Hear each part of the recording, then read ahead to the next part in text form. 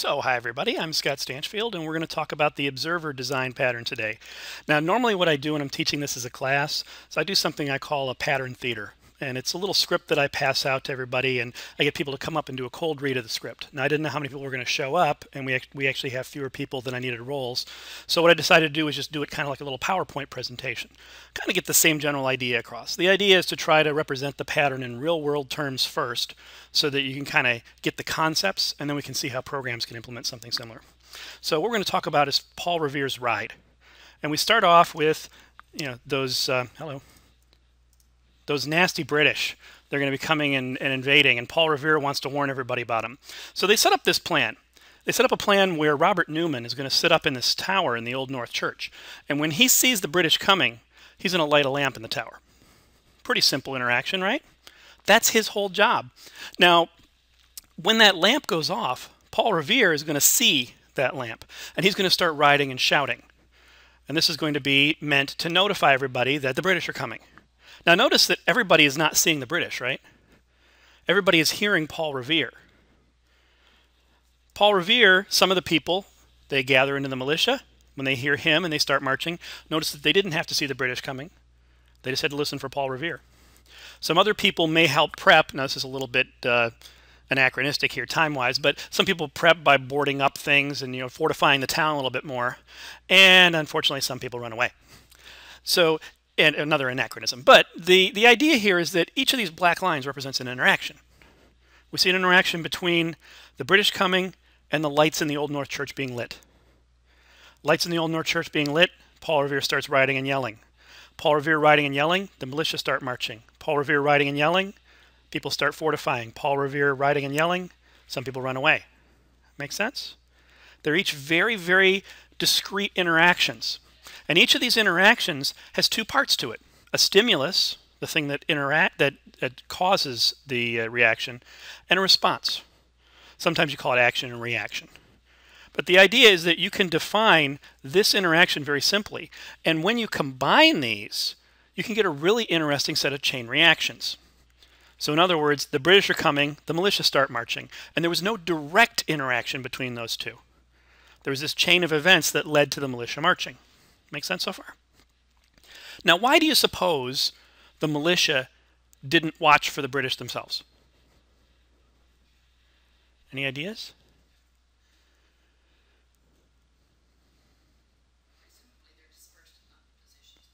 So presumably they're in, they're in a position that they're dispersed.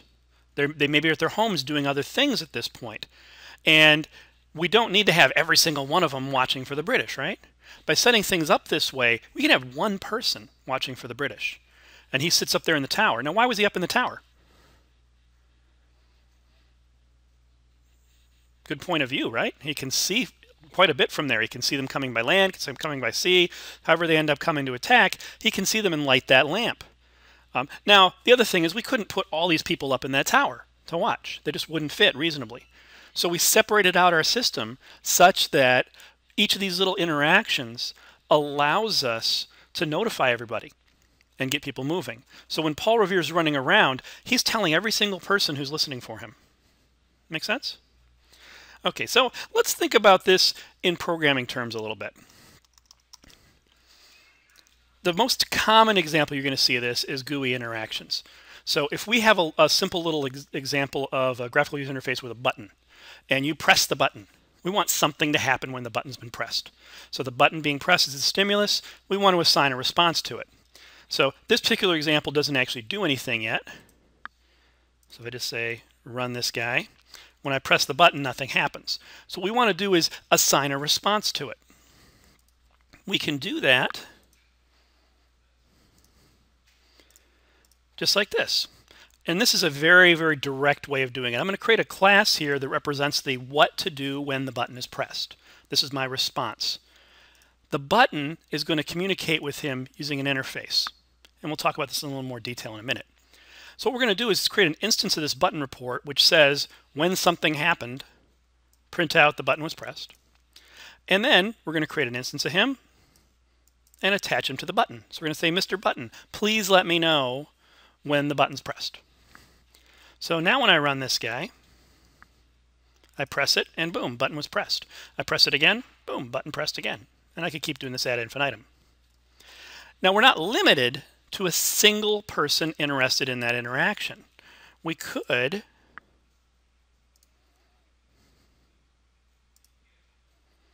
set up multiple instances of these. So what I did here is I just modified this button report guy just a little bit here. And I put in a little number so we can keep track of which one's which. And he takes that in his constructor and prints it out when he says the button was pressed.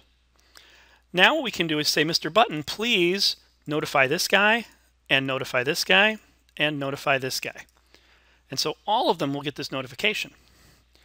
So when I run this guy here, say press me, I will see that the buttons were pressed. Now notice anything interesting there.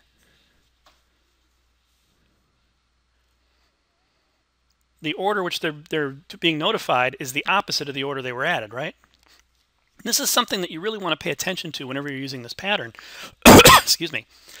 Unless the documentation tells you that add action listener will notify in the order they're added, you cannot make any assumptions. And you should not make any assumptions. So in a case like this, all we're saying is let me know. I don't care when, as long as I know. I don't care what order, as long as I know. And there's no promise of that ordering. Now, how do you think we might be able to set this up so that we fix the ordering, that we ensure a specific ordering? Any ideas? Mm -hmm. Exactly. I could call one thing and have him notify the other three in whatever order he wants to. And that'd be really easy to do here. I can just say button report manager, something like that. And in here, he can say private button report br1 equals new button report 1 2 3 and then inside here he just says br1 dot action performed e BR2 and BR3, just like that. And then instead of adding three separate like that, I can just say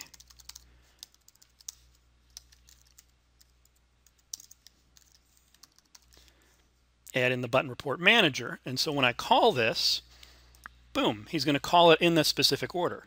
Now, if you wanted to, you could make this thing a little more flexible so that instead of having it hard coded with those three, you could have add and removes in this guy that guarantee when you add, the order in which you add is the order that they're notified. Make sense? So that's something you can do to force the ordering if it's absolutely required. Most of the time you really shouldn't care. Most of the time you just care that you got notified. And each of these guys independently gets their notification. Okay, make sense? Okay, so let's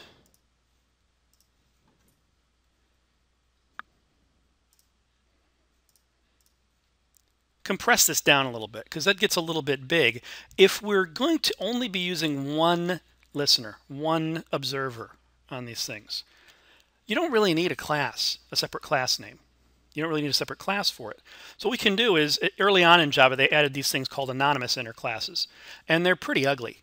Uh, but the idea here is that instead of creating a separate class with a name on it called button reporter, we're just saying I want to create a new subclass of action listener or a new implementer of action listener here. And here's the guts right there. And well, actually goes through that guy there. So you can actually code that thing in line, it's a little bit more compressed. It doesn't take up as much space, and it doesn't pollute your namespace with an extra name that you really didn't need. Okay, make sense there? And if I run this, I'm going to get just that single button was pressed uh, being reported there. Now in Java 8, they added in lambdas.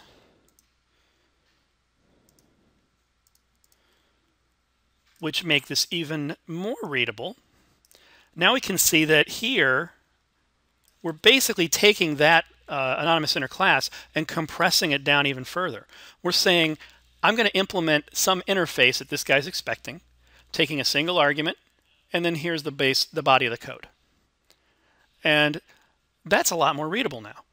It's really just boiling it down to what we care about, the what we want to execute. Okay. Now, if you're interested more in how lambdas work, I did a talk, uh, I don't know, six months ago or so on lambdas. Um, if you go to javadude.com, you can see the video for that underneath articles. And it goes into a lot of details on how lambdas work. But the thing I want to point out here is that makes things a lot more readable. Okay, questions on that? Okay, let me this up a little bit more here again. So let's create a little scenario here.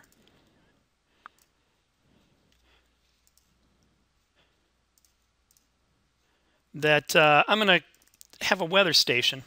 Let's say that a teacher has assigned all their students to listen to this weather station, maybe it's a radio station, uh, to find out when the sun rose and when the sun set each day. And then they're going to make a graph over time, things like that. So what we're going to do is we're going to treat this weather station as our source of these events. The source is called an observable. He's the thing that's going to be telling you things. The people who are listening to him are called an observer. So we're going to create our own custom observable situation here. Now the first thing I'm doing is just setting up the weather station as a little GUI here with two buttons, rise and set. Very, very similar to what we did in that other example there. And then I have a school assignment class here that just creates an instance of it. The weather station actually shows the GUI inside its constructor. So when I run this guy, I now see two buttons, sun rose, I press that, it says rose was pressed, sunset, set was pressed. So that's just kind of our setup for this example. We don't have any listeners anywhere other than to the buttons on the inside. What we want to do is create a custom listener so that somebody can listen to the weather station. So when the sun goes up, they get notified. So we're going to create a little chain reaction here.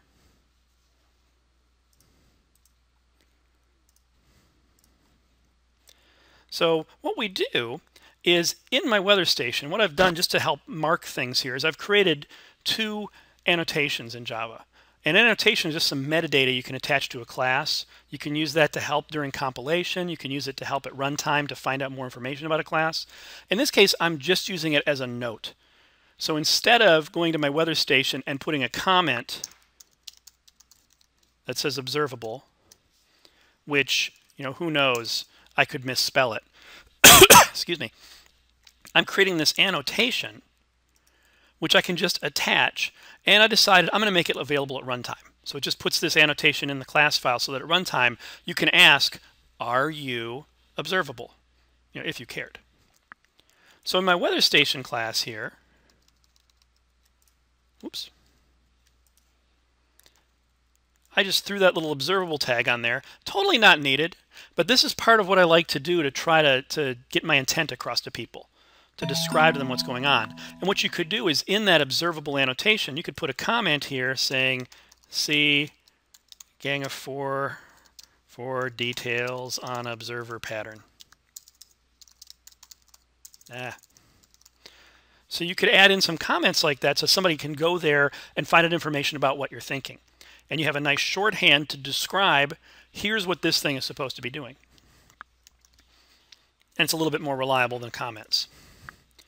Okay. Now, to make something observable, you have three things you need to do. First of all, you need to track the people who are interested in you. These are going to be sun listeners, people who are waiting for the sun to go up and the sun go down. And sun listener hello, is just a simple interface. He just has whatever methods you want inside of him. People who implement that are the observers. And so I threw this little observer annotation on there. In my weather station, I have to track them.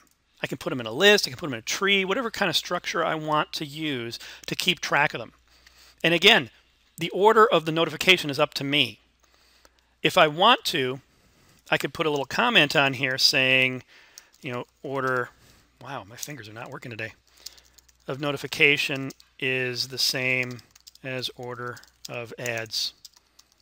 I could do something like that if I wanted to. And now I'm guaranteeing to the outside world that contract. That's part of my contract. You will be notified in the order that you added yourself. This particular example happens to work that way because I add to the list, always add at the end of the list, and I always walk the list in order. Okay. But if you don't promise that, people shouldn't make that assumption. Oops. Okay, so first of all, we need to track them. Then we need to have a way for people to register and unregister. or at very least register. Sometimes you don't want to let people unregister, but most of the time you want to have both ends of it. And in this case, saying add Sun Listener allows you to add them to the list, and remove Sun Listener allows them to be removed from the list. Finally, we need to notify people when something interesting happens. And that usually just takes the place of walk through this little list and then call one of the methods. Fairly simple, right? Okay. Now, the big advantage we have here is that we, because we're using an interface, don't care who we're talking to. All we care about is that we're notifying somebody who's interested. So anybody can register themselves as long as they implement that interface.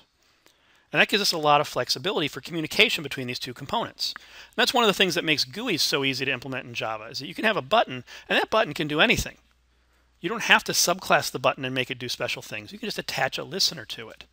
And that listener gets notified when something interesting happens, in this case, when the button's pressed. Okay.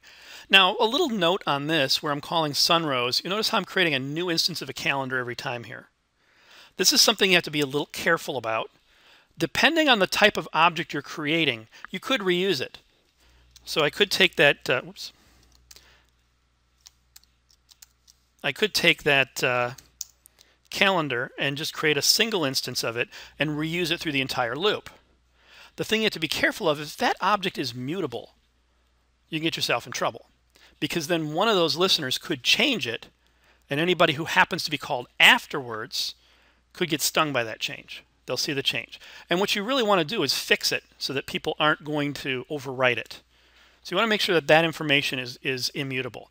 Um, so either use some kind of immutable holder for the calendar or use uh, uh, some other way of representing it or create a separate instance each time, which is I'm just going to leave it like that for now. Make sense? Okay, so then when we're doing our button listeners, we're going to chain the interaction here. When the rose button is pressed, call notify sunrose, which in turn is going to notify any listeners that are attached. Similar for set button, call notify sunset, which will notify the listeners at that point. Make sense?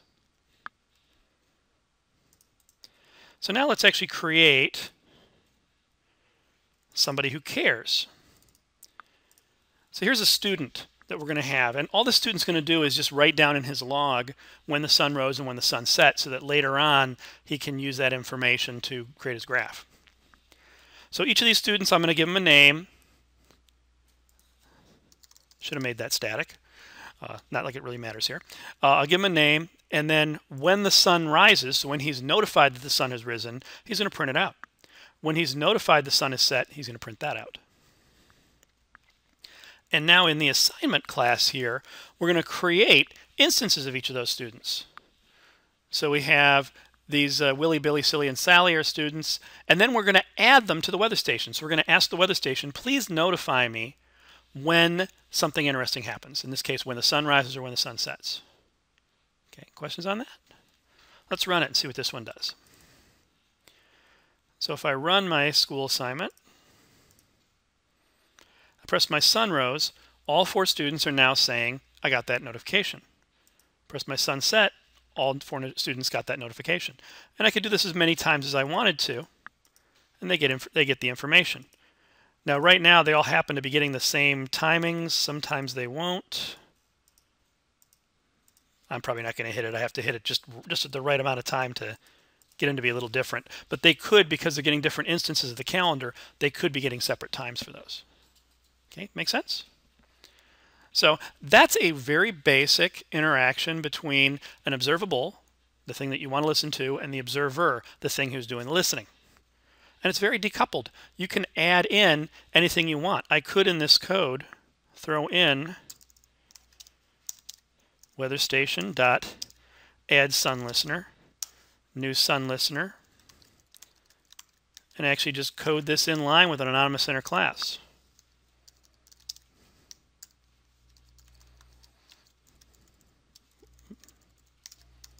Something like that. And then when I run that, boom, I see that extra listener called. And one thing that's very, very nice about this is that this kind of interaction is very amenable to modifications at runtime. So somebody could write code at runtime that attaches new listeners. Think about Eclipse, this development environment that I'm in here. You drop in a new plugin. When that plugin's activated, it can add in actions into the user interface. It can tell toolbars, I want new icons on the top there. It can say when the run button is pressed, provide a new action for running. It's very extensible that way. Uh, if you had a GUI where there's different pages, you could have different pages do different reactions for a next and a previous button, perhaps. So it's very flexible at runtime as opposed to hardwiring things. And the more you hardwire what to do, the less interaction you actually can have. Now let's think for a minute about this edit. Uh, let's see, is that the, the find underneath there? Yeah, edit, find, find and find replace. Let's think about how that interaction might work. If we had a, let me create a untitled text file. If we had this thing really hardwired, so we could say when find pressed, we could do something like, uh, whoops, ah, come on. Ask user for text to find, uh, wait for button press, look up text, highlight text, close dialog. So we could do something like that, right? It could be a very basic interaction. But think about what this is going to do for a second. Maybe I wanted to, uh, to use an editor where somebody did this. And I've got a bunch of text on the screen. And I hit Control F to find something. And maybe I'm trying to find humu humu nuku nuku wapua'a. And that's a lot to type. And I'm lazy. And I happen to notice that somewhere on the screen, I see humu humu nuku nuku wapua'a. So I go over there and I double click on it to highlight the word, right? And I want to copy it and paste it into my find dialog. What happens when I double click on humu humu nuku nuku wapua'a? Any ideas? I hear the familiar ding and nothing happens. Well, it should be ding ding because I clicked twice, right? Why did nothing happen? Why can't I click on this text behind that dialog?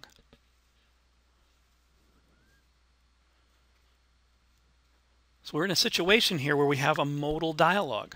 When this dialog gets printed up, we have a straight line of stuff to do. We have now dropped into a mode. We have dropped into a subsequence of events here, subsequence of code.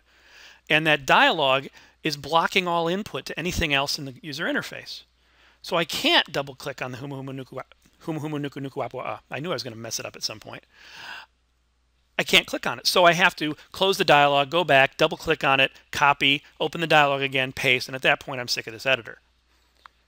So a better way to do this is if we break this down into discrete interactions. What should happen when find is pressed?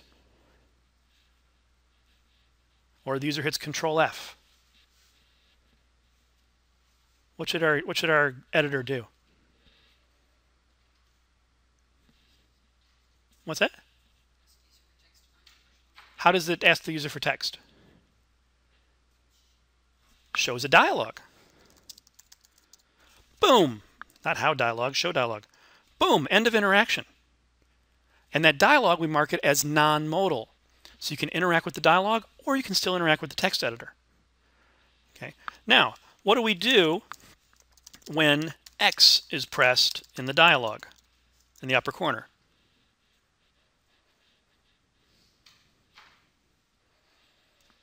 So when you go up and press this little guy up in here, what happens to the dialog?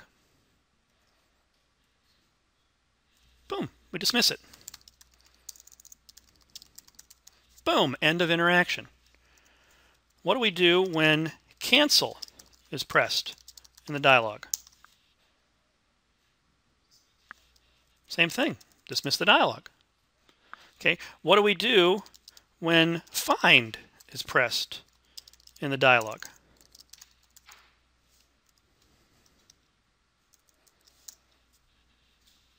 And now you also have a choice on this close dialog. We could have that be part of the find, right? Or we could just leave the dialog up there, which allows you to hit find next, find next, find next, find next, find next. Let's see how, whoops, see how each of these interactions is now very, very simple, easy to deal with, easy to code, and we get a nice benefit out of this that now the user interface is much more interactive. It's much more up to the user to decide how they want to interact with the GUI. The user can use the find dialog multiple times in a row. The user can highlight text that they normally couldn't have gotten to before because we were in a modal situation. Much, much, much friendlier. Make sense? So now, let's see what happens with that uh, student example.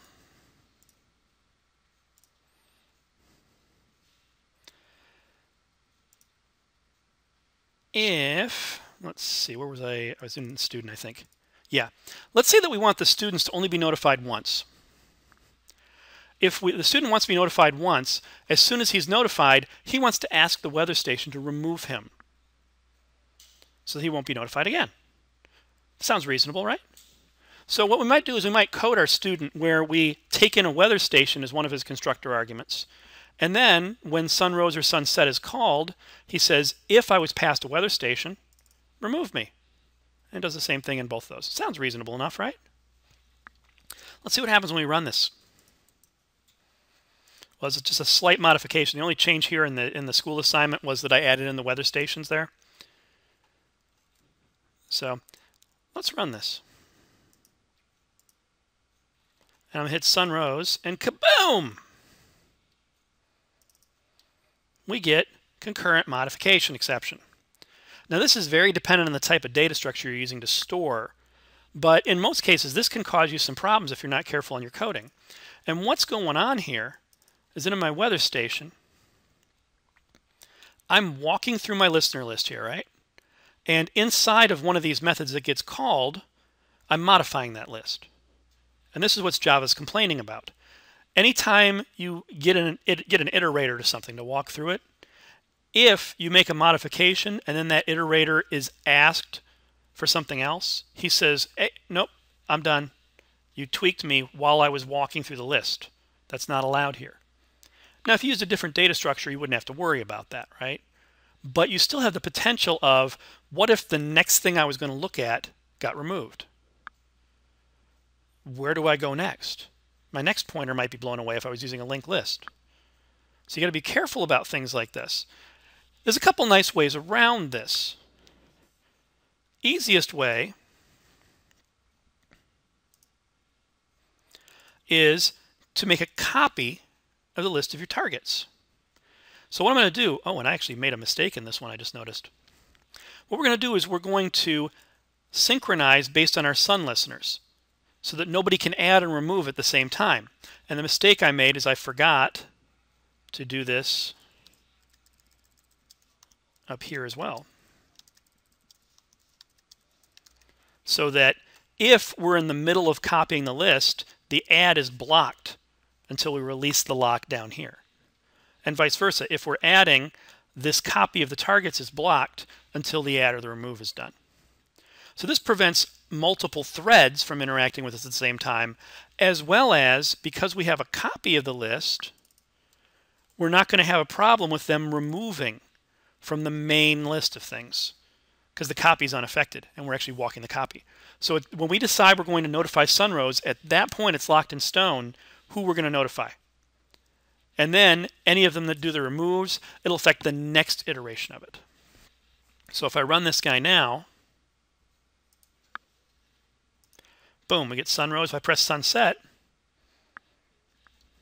two of them got notified because I had two of them pass in a null and two of them were actually getting the notifications.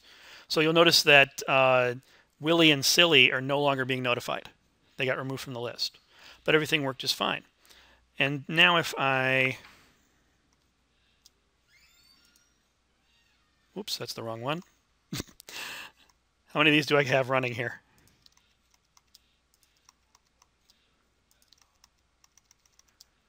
So now if I press Sunrose, that's an old one as well. Let me run him again. So the first time,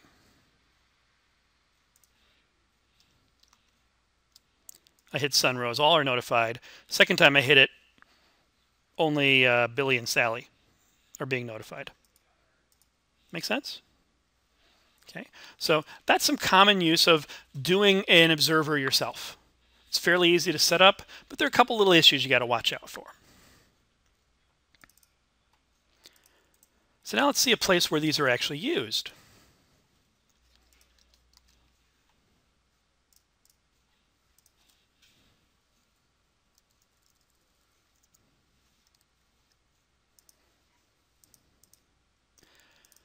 We're going to create something called a Java bean.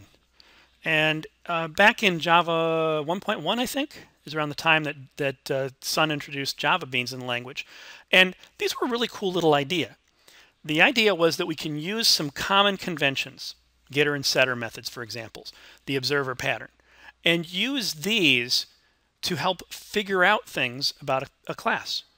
So if we define a class like this, call a class called person, we have some data in it, name, address, and age.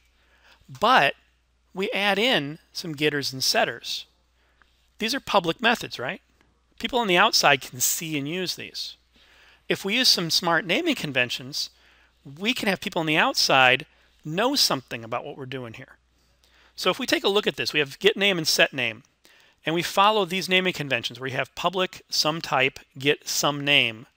This defines what we call a readable property. If we have public void set some name passing in some type with a value, that defines a writable property. If you have both, it's readable and writable. This was originally intended for when you uh, used a Java Bean builder. So you could drag and drop things to create a GUI on the screen. But you can also use it for a bunch of other things. With properties, the first thing that it lets you do Where's my properties?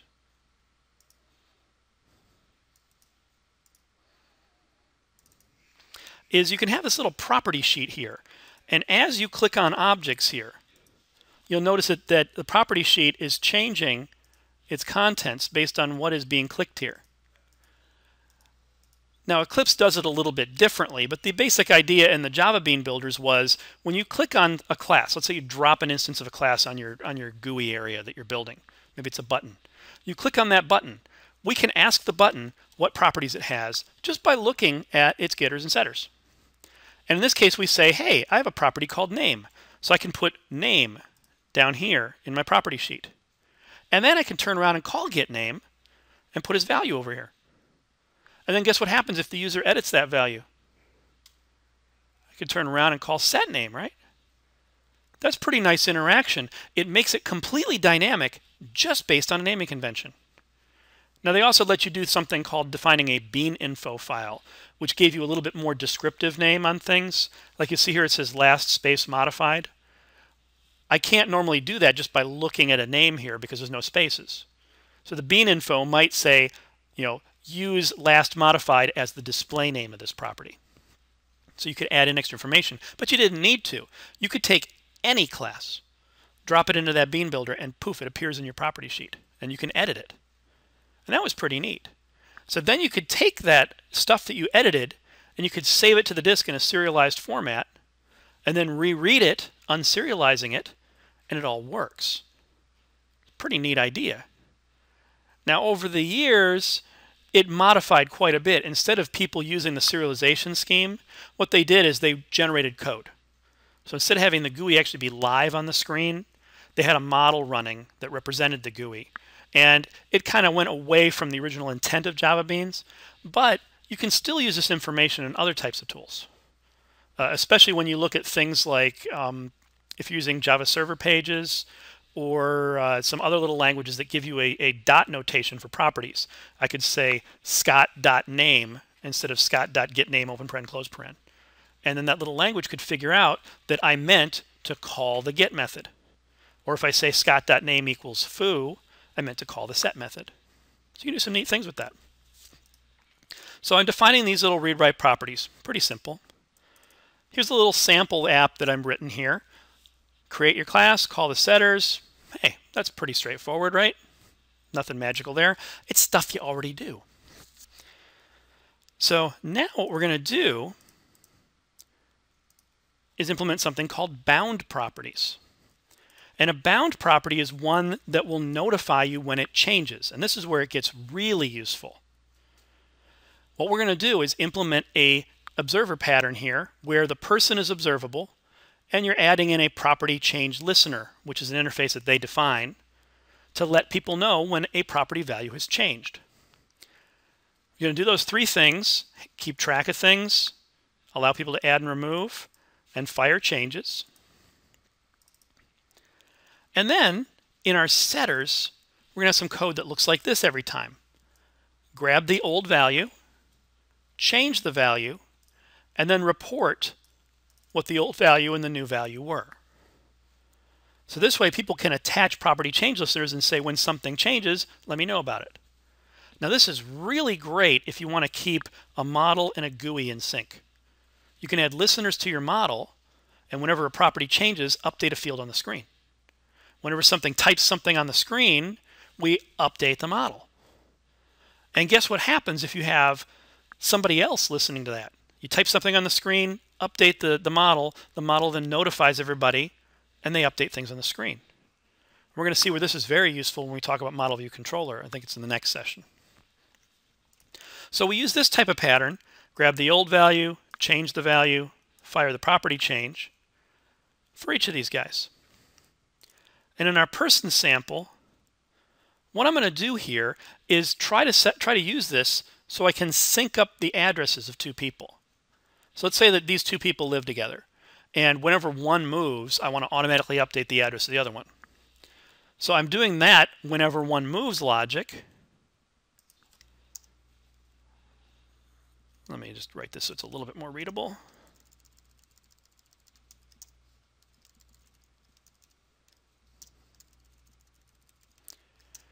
I implement that by saying, hey, Mike, let me know whenever one of these change events happens. And I'm going to say if the address equals the property name being passed in, then tell Sue to set her address to your address. And then down here, vice versa. Whenever Sue's address changes, set the address of Mike. Sounds pretty reasonable, right? So then I'm going to say, Mike, set your address. And let's see what happens when I run it. Anybody anybody have any guesses at what might happen here?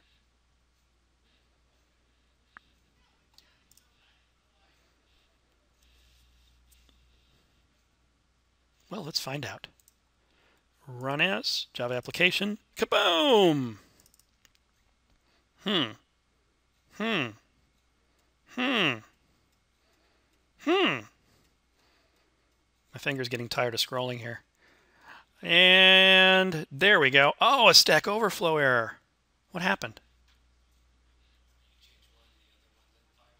Yep, when you change one, the other one fires off, which causes the first one to change, which causes the second one to change, which causes the first one to change. Ew, not a good way to do things here, right? Well, we can fix that. What we can do is add in a little logic to say, if the value didn't really change, don't fire an event. That seems pretty reasonable, doesn't it? So we go up into our little fire property change method here, and I'm going to say if the old value is null, you know, if the old value is null, always fire the event. Now that will actually be a problem with this code if the new value is null as well, because then you'll get your infinite cycle.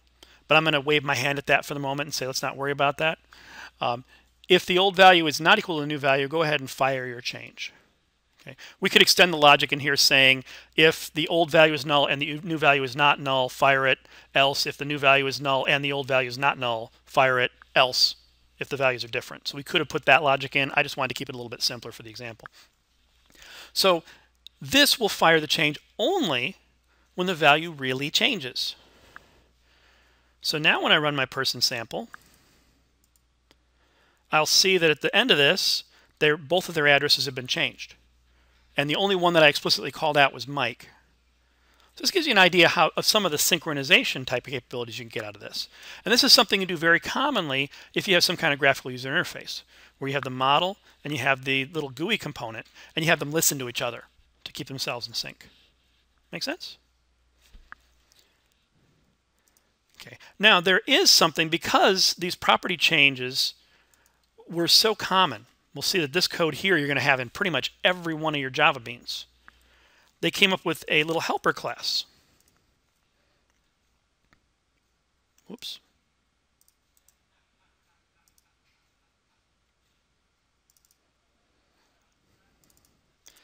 And this guy here is called property change support.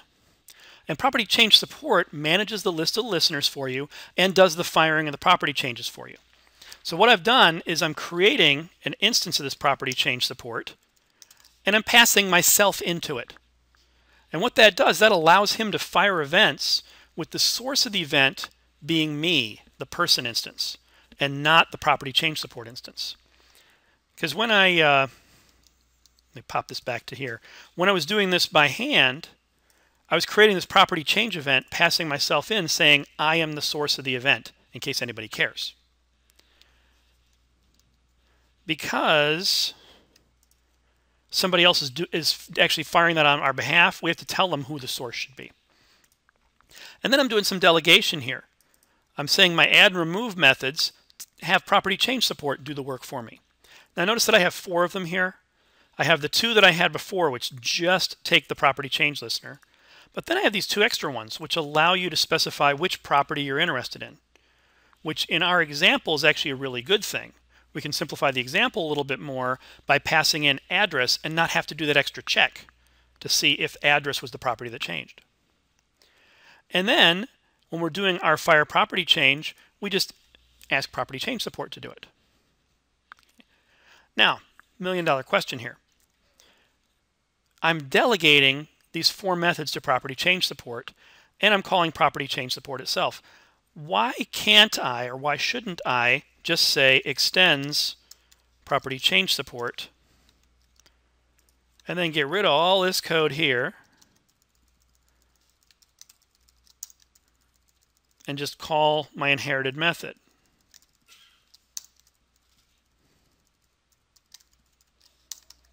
And that'll work just fine.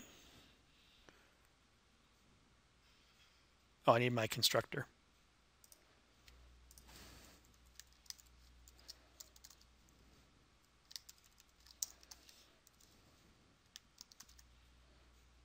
Mm, that's not right.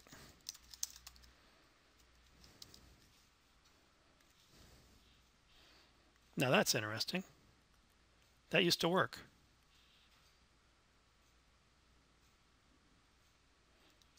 Now I'm thinking that's not possible. Well, let's let's pretend for a minute that that was possible. Why would this be a bad idea anyway? Now it saved me a bunch of code, right? Because instead of delegating everything, I'm just calling all those superclass methods. I'm just inheriting those public methods. But why might this be a bad idea?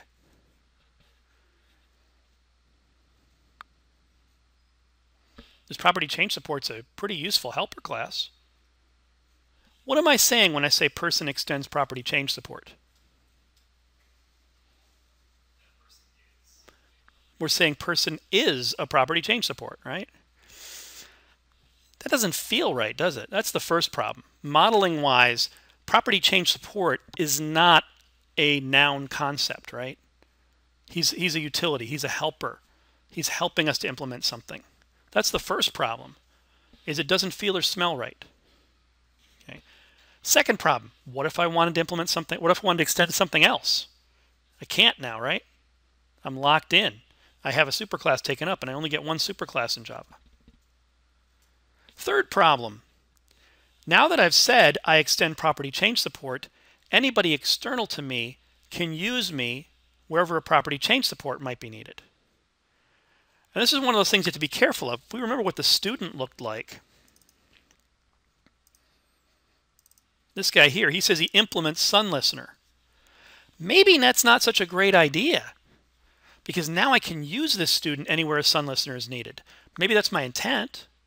If it is, then that's great, right? But maybe my intent was only in certain scenarios I want to use the student as a Sun Listener. So maybe what he should have had is an inner class that implements the Sun Listener and adds that instead of adding the whole student overall. So be careful what you're meaning is on things, especially with property change support. This guy, and that used to work, and I'm guessing that they locked that down later on. Um, they used to, to have a, uh, I believe they didn't have a constructor that had him in there. Um, but if this were possible, it still smells bad. You're giving uh, you're giving this uh, information about I am a property change support, and people can use it other places. What we really want to do is just take advantage of his support for us. And so that's why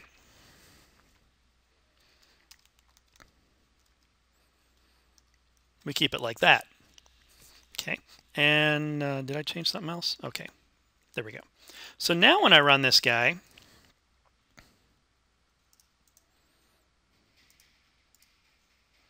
I get the same results, and I can simplify things a little bit.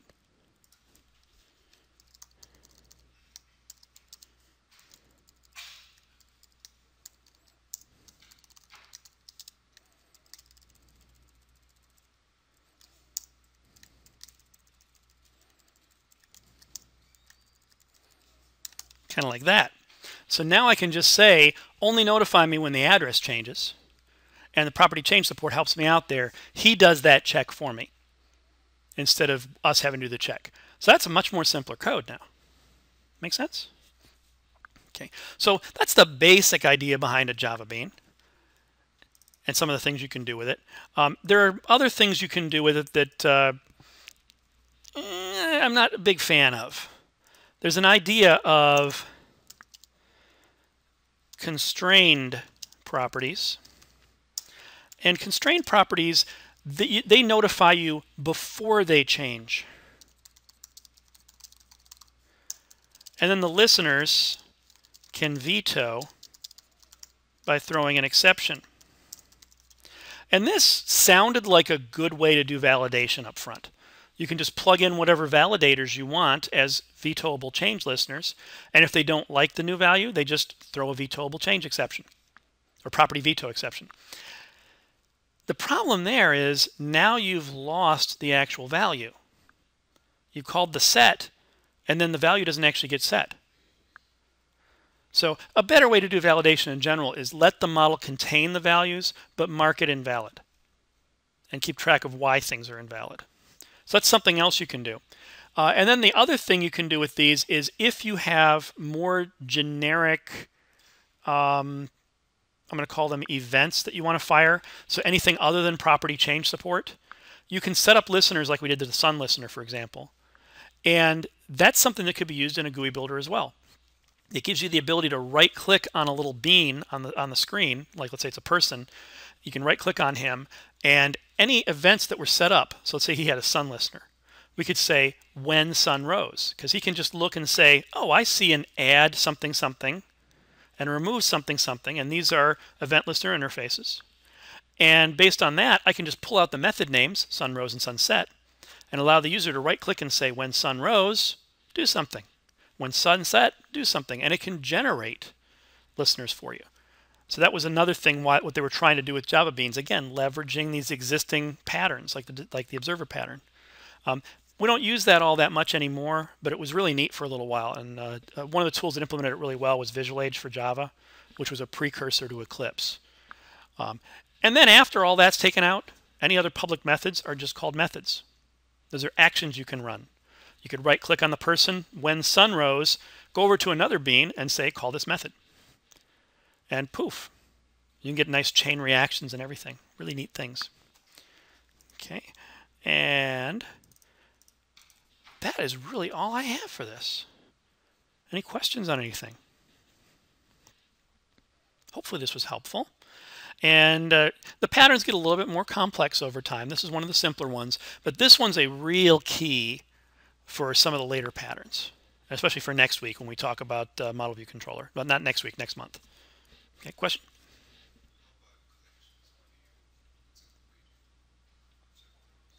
So what's a good way to observe collections? Um, well, first of all, the base collections don't have any type of observable mechanism in them. Now, there's a couple little tricks you can do.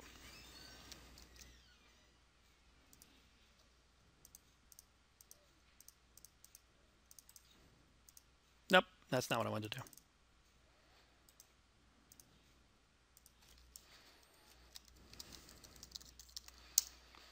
And what I tend to do with collections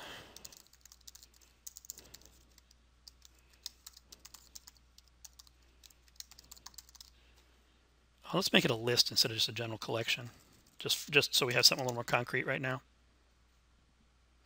And I'm going to make this guy implement list. Now what I like to do is I, I use the use um, the decorator pattern quite a bit. And we're going to talk about that later on down the line, but this is going to be a quick example of a decorator. And the idea here is that we're going to put a wrapper around something. So when you talk to it, all the calls go through that wrapper.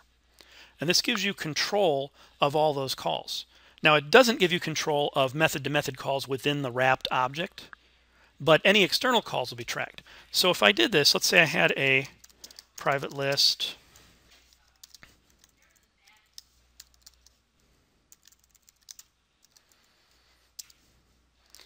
real list, create a constructor for him, generate delegates. So now what we have here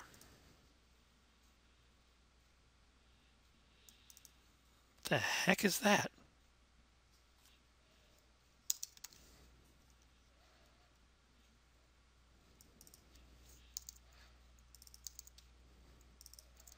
It's a Java 8 thing that I don't think they got quite right in Eclipse.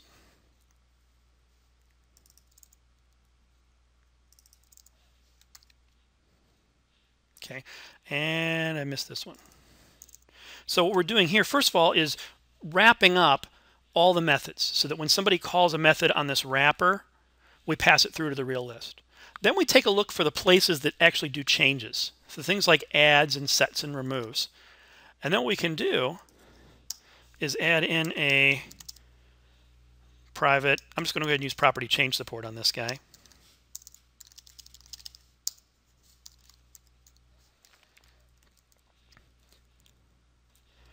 And then we're going to, let's delegate him as well.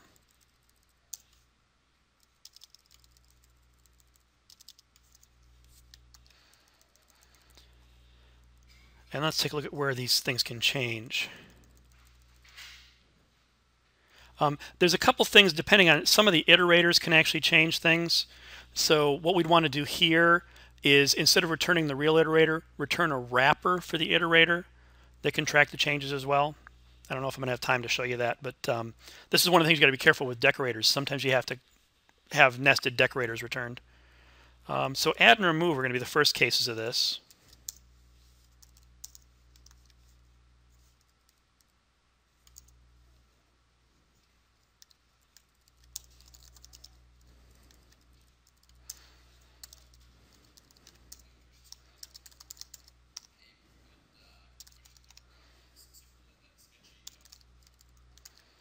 So we might do something like this to say the list property has changed, so basically the whole thing has changed. And I'm going to pass in a null for the old value saying, you know, we really don't care about the old value. And then the current object for the new value. Um, if you did want to care about the old value, then we'd have to make a copy of the list at the beginning of this before we actually do the add. But normally when I do changes on lists or collections, I don't like to make a copy of the list most of the time people really don't care what the old value is. But you just want to make sure you put a dot put a documentation on that saying you you know they'll always be null for the old values. And then we'll do something similar for this guy.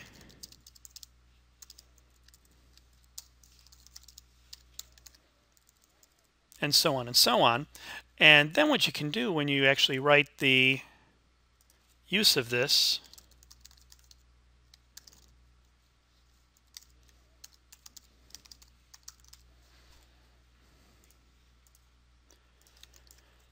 So let's say that I said, oh, you know, actually,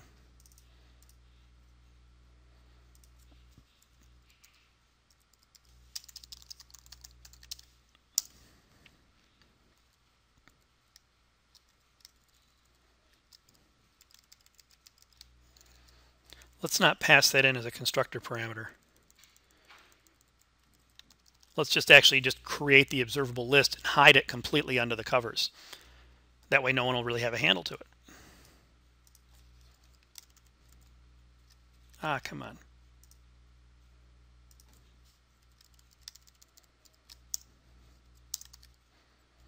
There we go, that's what I want. And then in here, I can say observable list wrapper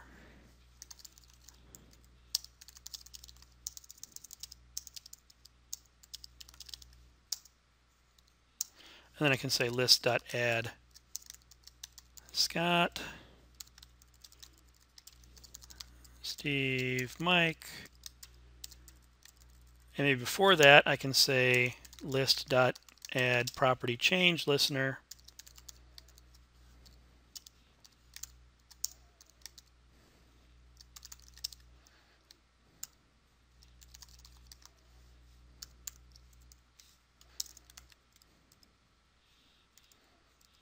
That okay? That looks good there. And then when I run this, I should see changed happening uh, three times there. There we go, something like that. So that's a way that you can make a list observable. Um, we just threw a little decorator around it and took it use, you know. Now you have to make sure you do it in all the places that it actually is going to change. And the reason I was calling out iterator on that is that the iterator class has a remove method in it and so we got to make sure that we wrap it as well. And so you would just say, instead of returning realist iterator, return new iterator wrapper, passing in the thing that we want to report the changes on, so me, and the actual iterator itself that's created. And uh, very similar. Um, some of these can get pretty hairy because some of these collections, you got to be pay really close attention to what actually changes what's under the covers. Um, but they can be very, very useful, and I've done this a few times. Make some sense? Any other questions there? And the the um, the level of detail, instead of using a property change support, which in this case I'm just saying the list has changed, you could have a, uh, a more specific type of listener there. You could have a uh, list change listener that you define yourself that might say it might have several methods. It might have a node added, node removed, um, data changed, you know, for different slots in it, and you could be more specific on the type of change that happened. You know, from the add method you call added, from the remove method you call remove, that type of thing.